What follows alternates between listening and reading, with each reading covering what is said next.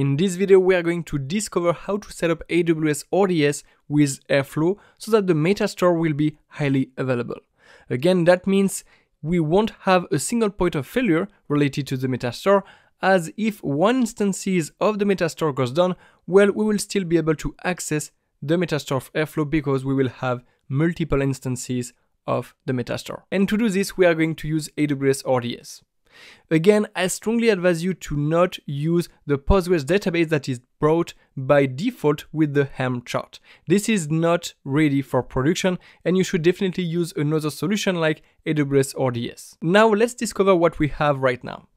Well, if you go into your terminal and type kubectl get pods dash n prod, as you can see right there, we have three web servers because we have set up the web server to be highly available, but the pod here corresponds to the metastore of Airflow and we don't want that pod anymore.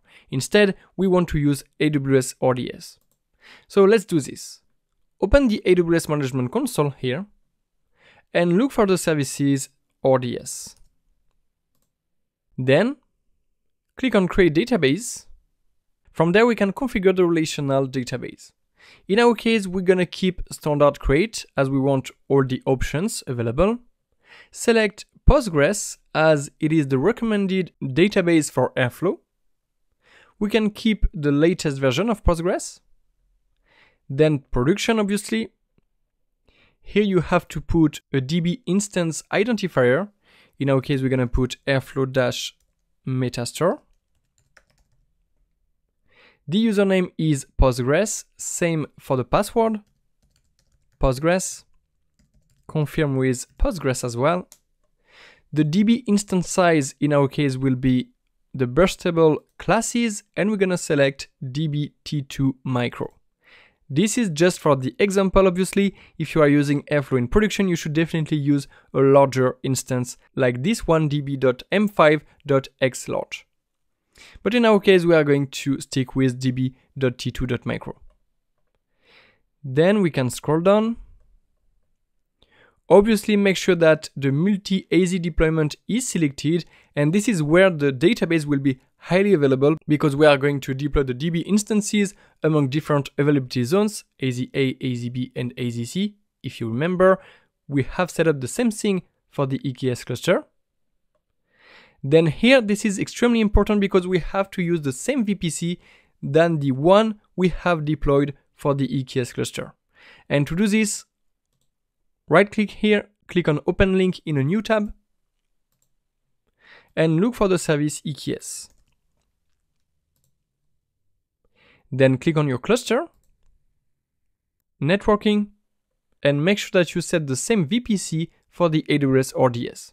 So in my case, it is D9F, so back to RDS, I select the VPC with D9F. Okay, so make sure that this VPC is the same as the one from the EKS cluster. Next, we can scroll down. Let's keep the password authentication. And finally, we have an estimated monthly costs. Obviously, no worries, we are definitely not spending all of that money. We are just going to set up the database and as soon as this section is done, we are going to delete the instance. Finally, you can click on create database. At this point, we are going to wait a few minutes before getting the database set up and running. Here you have to wait for the status to be active. I'm gonna pause the video and come back when it's done. Alright, as you can see, the database is available. This process took up 20 minutes for me, so again you will have to wait maybe around 15 or 20 minutes before getting your database ready. Once it's done, you can go back to the workstation and we are ready to move on. Open the folder airflow-eks-config and release this and the file airflow-prod.yaml as we are going to modify the release of Airflow running in production. Under the section values, we are going to add a new value just above web server, which is Postgres SQL enabled to false. That means we are not going to deploy the Postgres database along with that release corresponding to Airflow as we want to use AWS RDS. Next, we have to set up the connection to the AWS RDS. Here you can type data, then meta data connection. Then we have to specify a user, which is Postgres,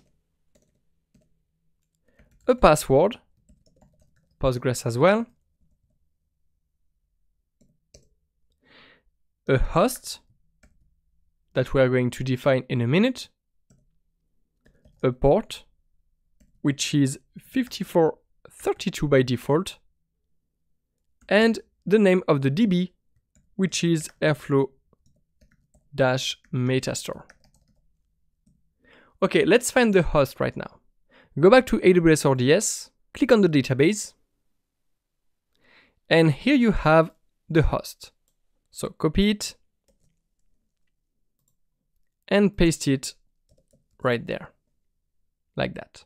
Actually, before deploying the new release of Airflow, I just made a mistake. Indeed, we didn't define any DB name during the setup of the AWS RDS, so we should put an empty value here. So put this tilde right there and save the file.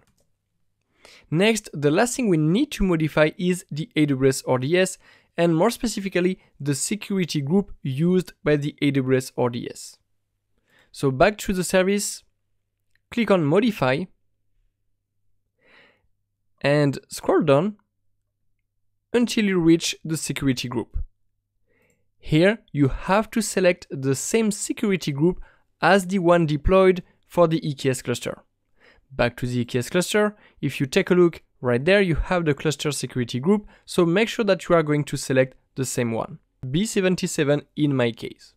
So back to RDS, I select the security group with B77, which is right there. Then you can remove the default security group. Finally, scroll down and click on continue, then select apply immediately, and modify DB instance. Perfect, now we are done, go back to the workstation, make sure that you have saved the file, and go into airflow-eks-config. Then git commit -am airflow with AWS RDS and git push.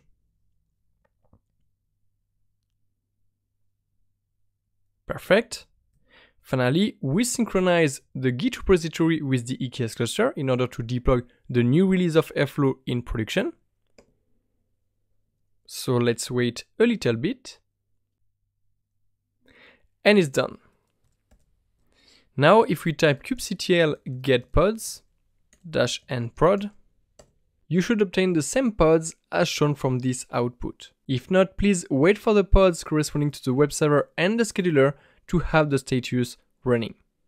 One thing you have to notice here is that we don't have any Postgres pod corresponding to the Metastore anymore. Indeed, right now we are using the AWS RDS and that means we have successfully set up the AWS RDS with Airflow and now the Metastore is highly available and scalable. The last thing I would like to show you is if you open a new tab and go back to your AWS Management Console, then click on Services and EC2, then Load Balancers. Let's select the load balancer corresponding to the prod environment. Copy the DNS name, paste it, and as you can see, we land on the user interface of Airflow as expected. If you try to connect with admin, admin, this time it doesn't work.